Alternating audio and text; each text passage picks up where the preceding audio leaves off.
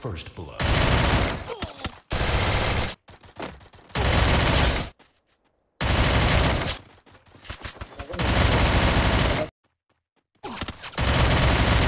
Right, right, right, right, right. Open.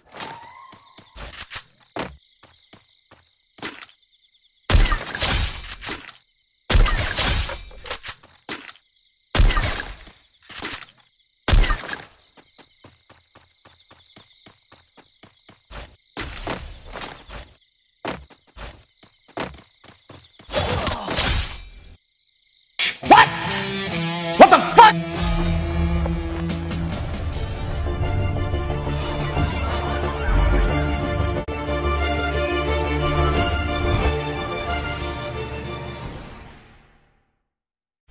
Welcome back guys तो यार, आज की वीडियो है how to become a pro part two अगर आपने यार पार्ट वन अभी तक नहीं देखा, अभी नए हैं तो इस वीडियो के बाद आप वो भी देख लेना, क्योंकि उसमें बहुत सारी यूज़फुल टिप्स एंड ट्रिक्स मैंने शेयर करी है। जो कि आपके गेम को इम्प्रूव करने में बहुत ज़्यादा मदद करेगी। तो चलो यार गाइस शुरू करते हैं आज के टिप्स एंड ट्रिक्स तो टिप नंबर वन है सिटअप टेक्निक गाइस ये टेक्निक बहुत कम लोग करते हैं, क्योंकि नॉर्मली सब लोग ट्रैक कैसे करते हैं? सिंपल एक जगह खड़े रहेंगे, उसके बाद ऊपर को ट्रैक करते हैं। मगर आपको कैसे ट्रैक करना है? आप जैसे किसी एनिमी को देखते हैं तो पहले आप सिटअप लेंगे तो वो ज़्यादा बेटर है। क्योंकि इससे क्या होता है, हमारे हेडशॉट लगने के चांसेस और ज़्यादा बढ़ जाते हैं। आप अभी एक क्लिप्स में, आपको कुछ क्लिप्स दिखाऊँगा, उनमें आप देखेंगे कि कितने आराम से मैं हेडशॉट्स मार रहा हूँ सिटअप लेने के बाद। ये देखो गाइस ये सिटअप लेने से क्या होता है जो हमारा एम है, वो ऑटोमेटिकली एनिमी के हेड पे लॉक हो जाता है। देखो यहाँ पे। मैं सिटअप ले रहा हूँ। एनिमी बाहर आया। सीधे ड्रैग करूँ तो बहुत सारी गोलियाँ उसके एनिमी के हेड पे पड़ी। सेम चीज़ यहाँ पे देखो। सिटअप लिया। ड्रैग करा, सीधे हेडशॉट ठीक है? तो हेड पे गोलियाँ लगती ही लगती है सिटअप करने के बाद। पहले एक टेक्निक भी थी, बहुत पहले जब हम इसको जूम करके सिटअप टेक्निक करते थे, मगर अब तो वो नहीं है, लेकिन ये अभी भी गाइस काम करती है। बहुत कम लोग इसके बारे में जानते हैं। तो आप कभी भी ड्रैग करेंगे तो आराम से पहले सिटअप लो, उसके बाद ड्रैग करो तो आपके हेडशॉट लगेंगे, ठीक है? पर एक चीज़ का ध्यान रखना, ये उन वेपन्स में गाइस काम करेगी जिसमें हमारा रेट ऑफ़ फायर ज़्यादा होता है और रेंज ज़्यादा होती है, ठीक है? उसमें ये परफेक्टली काम करेगी और वेपन में भी काम करती है, मगर जिसमें रेट ऑफ़ फायर और रेंज ज़्यादा होती है, उसमें तो बहुत आराम से एकदम स्मूथ मक्खन बोले तो एकदम झगास करके आपका ड्रैग कहाँ पे काम करेगा। ये देखो गाइस सेटअप ले रहा हूँ, आराम से हेडशॉट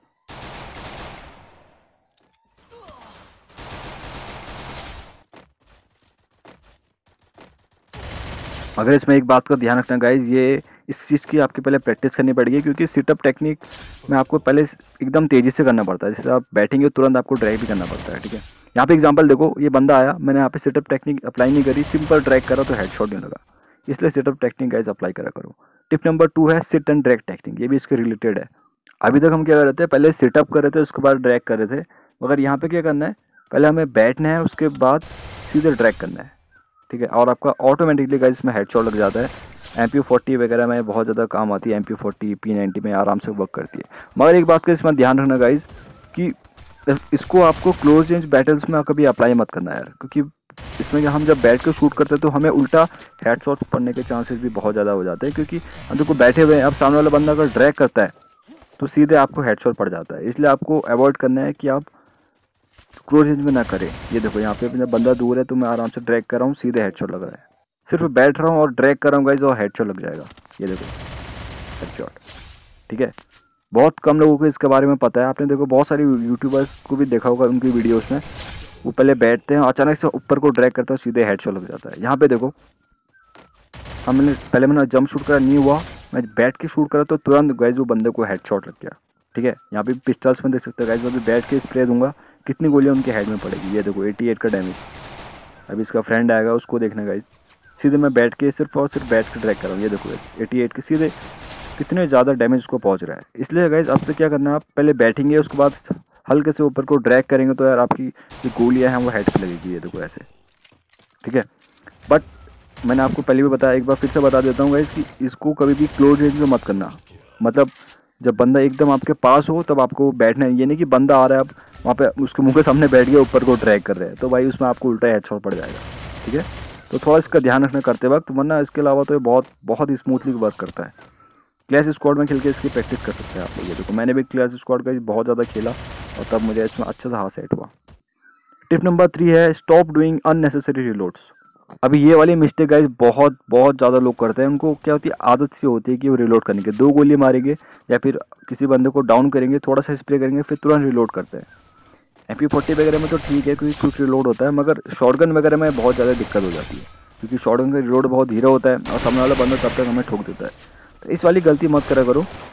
जब तक बिल्कुल अर्जेंट ना हो लास्ट की गोलियाँ ना बची हो, और जैसे आपके पास कवर हो तो ही आप रिलोड करो, ठीक है? अननेसेसरी रिलोड्स मत करो। गैस अगले टिप में देखो क्या बंदे मिस्टेक करते हैं, वो लोग, बहुत से लोग क्या करते हैं, जब सर्कल श्रिंक होना शुरू होता है उसके साथ साथ वो सर्कल के अंदर जाते हैं। बट आपको ऐसा नहीं करना है।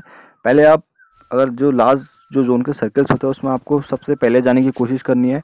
उसके बाद अगर कोई हाइट वाला एरिया है तो वहाँ पे आप जाएँगे। उससे क्या होता है जब आपका बंदा नीचे नीचे को होता है डाउन साइड में होता है तो वहाँ पे उन लोग को गैस हम जब ड्रैग करते हैं तो हेडशॉट बहुत आसानी से लगते हैं।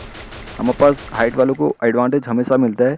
इसलिए आपको हमेशा क्या ट्राई करना है कि आप हाइट वाले एरिया से ही अगर एनिमी से फाइट ले रहे हैं तो हाइट वाले एरिया से लें। ताकि आपके हेड शॉट पड़ने के चांसेस और ज़्यादा बढ़ जाएँ और आप इजीली जो है अपनी बुझा की ओर फोकस कर सकते हैं, ठीक है? तो ये थी टिप नंबर फोर अब बात करते हैं गैस हम टिप नंबर फाइव की. ये वाली टेक्निक में हमें क्या करना है? ये मेन हमारी क्लोज रेंज बैटल्स में बहुत ज़्यादा हेल्प करती है। इसमें हमें क्या करना है? जैसे कोई बंदे के साथ हमारी फाइट चल रही है, हम उसमें अचानक से क्राउच हो जाएँगे, यानी कि बैठ जाएँगे। और क्या होता है इससे कि हम जैसे ही सडनली बैठते हैं तो सामने वाला एनिमी का एम जो होता है वो हमारी बॉडी से हट जाता है, कुछ सेकेंड्स के लिए। तो इसका हमें बहुत ज़्यादा एडवांटेज मिलता है रेंज फाइट्स में। तो अभी मैं आपको एक क्लिप दिखाऊँगा, इसमें आप देख के समझ जाएँगे कि हमें क्या करना है।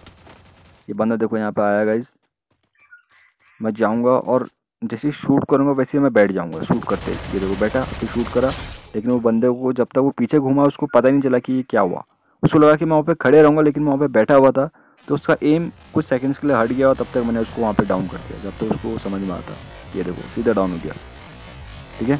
तो इस तरह हमें इसको टेक्निक को यूज़ करना है। इसको हम मेन वैसे ओपन फ़ील्ड में तो मत करना, ये घर के अंदर जब हमारे कुछ फाइट होती है ब्राज़ीलिया मैप हो गया या फिर क्लॉक टावर या पीक में जैसे कुछ घरों के अंदर जो फाइट होती है, वहाँ पे ये वाली टेक्निक बहुत ज़्यादा काम आती है। ओपन फ़ील्ड में थोड़ी रिस्की है हेड पड़ने के चांसेस होते हैं। मगर जो घरों के अंदर फाइट होती है ना जैसे हम चार चार टीम मतलब चार चार बंदे एक घर के अंदर होते हैं हमारी टीम भी अंदर होती है। हाँ, आप यानी समझ लो कि आप कमरे में एक ही हो और सामने वाले बंदे चार हैं और घर के अंदर फाइट चल रही है तो वहाँ पे ये वाली टेक्निक को अप्लाई करके देखना गैस कि आपको कितना एडवांटेज मिलता है। ठीक है यहाँ पे एक और क्लिप है। हम यहाँ पे देख के समझ जाएँगे कि गैस कैसे मैं सिटअप टेक्निक को यूज़ कर रहा हूँ। उसको जो अभी लास्ट वाला बंदा है उसको देखना गाइस उसको मैं यहाँ पे डाउन किया। अभी जो उसका लास्ट वाला फ्रेंड बचा है अभी उसको देखना आप।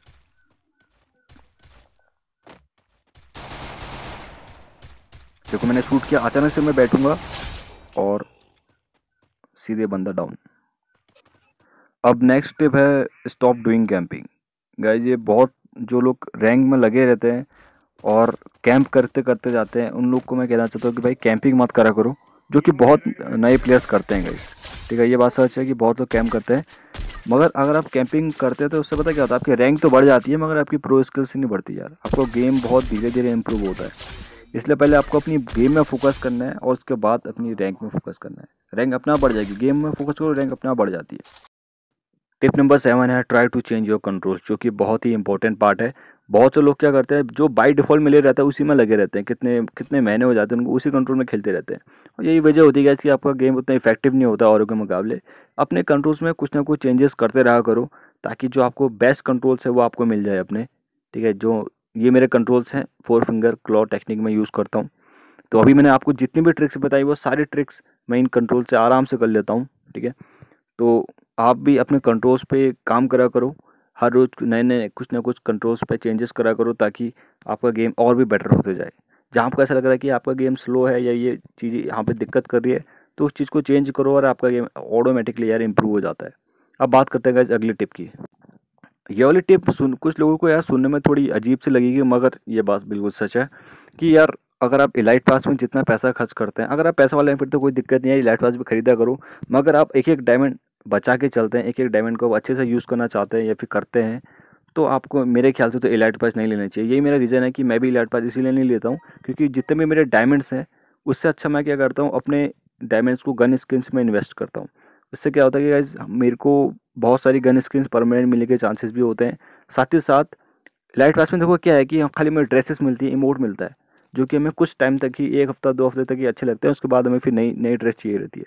मगर गन स्किन्स में क्या है कि वो हमारे सारे गेम्स में जब हम जितने भी गेम खेलते हैं, और जितने भी गेम में हमारी इम्प्रूवमेंट होती है, वो गन स्किन्स की वजह से ही होती है ज़्यादातर।